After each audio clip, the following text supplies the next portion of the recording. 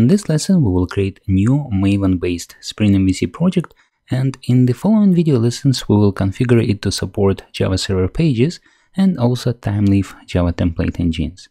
Alright, so to create a new project, I will use Spring Initializer tool. It is opened on my screen. You can open it by going to start.spring.io website and this tool allows us to create Maven-based Spring Boot projects that can be imported into any development environment that supports Java, for example, and Maven. Once you create a new project using Spring Initializer, you can then import this project into Eclipse, IntelliJ, NetBeans, or any other Java development environment that supports Maven. Alright, so this is going to be Maven-based project, so I will keep Maven selected I'm going to build my Spring MVC project with Java, so I will keep Java selected. Next, I will select the desired Spring Boot version. I will continue with the one that is selected. And next, I will need to provide metadata or Maven coordinates for my project. So the first option is group ID.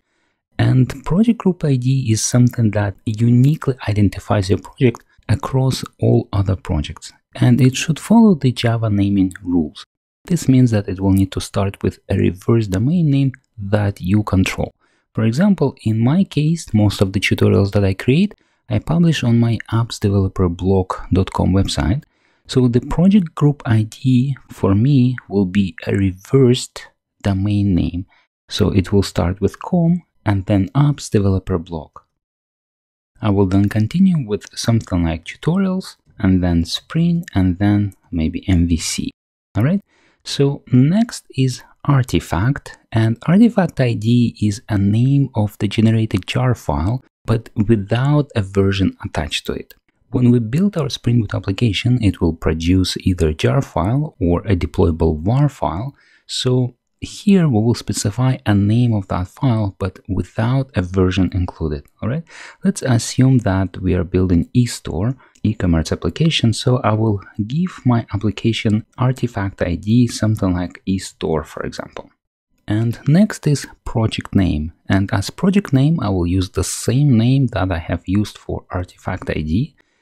Description, I can leave empty or I can say something like eStore Spring MVC web application. And now I will need to provide unique package name. And this is usually same as group ID, but with artifact ID attached to it. So the final package name for my project will be a combination of group ID plus artifact ID and Spring Initializer has already put these two values together. Next, I can specify how I want my project to be packaged when it is built. When I download and build this application using Maven, it will be either packaged as a jar file or as a WAR or Web Application Archive file. I will choose jar for now and in later video tutorials I'll show you how to create a deployable Spring Boot web application as well that is packaged into Web Application Archive file or WAR. Next, we can choose Java version. I'm currently using Java 11, so I will keep Java 11 selected. And finally, we will need to provide dependencies that our project needs. For different projects, there are different dependencies, but to create a Spring Boot application that supports Spring Web MVC framework, we'll need to add a dependency for Spring Web. So I will click on Add Dependency button and then I will search for Spring web. And the very first item in the search result is what we need. This dependency includes libraries that support building both Spring MVC web applications as well as Spring Boot RESTful web services. And it also includes a default Apache Tomcat servlet container embedded. Alright, so I will select this dependency and at this moment this is all I need.